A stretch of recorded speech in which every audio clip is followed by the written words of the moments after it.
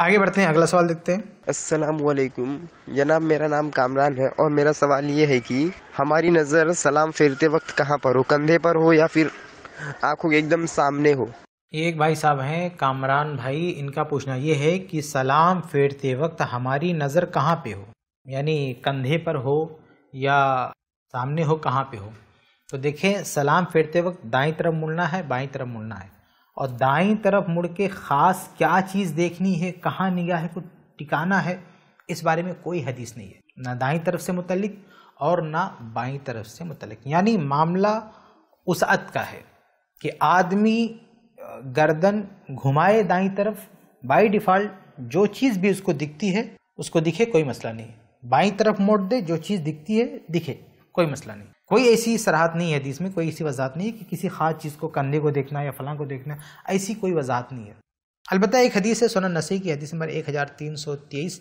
इसमें अब्दुल्ला बिन मसूद रज़ी अल्लाह रिवायत फरमाते हैं कि काना रसूलुल्लाह सल्लल्लाहु अलैहि वसल्लम युसल्लिमु अन यमीनिही हत्ता यबदु बयाद खद्दी कि आप सल्लल्लाहु अलैहि वसल्लम दाई तरफ़ सलाम फेरते थे यहाँ तक कि आपके रुखसार की सफ़ेदी दिख जाती थी। तो आप ऐसे जब चेहरा घुमाते थे तो आपका रुखसार दिखता था, दाई तरफ़। और बाई तरफ़ घुमाते थे तो आपका रुखसार दिखता था। यानी बतलाना ये मकसूद है कि पूरी तरह से चेहरा आप घुमा देते थे। दाएँ भी पूरी तरह से आप घुमा देते थे, और बाएँ भी आप पूरी तरह से घुमा देते थे। ये हदीस में आया है कि दाई तरफ़ घुमा देते थे, बाई तरफ़ घुमाते थे।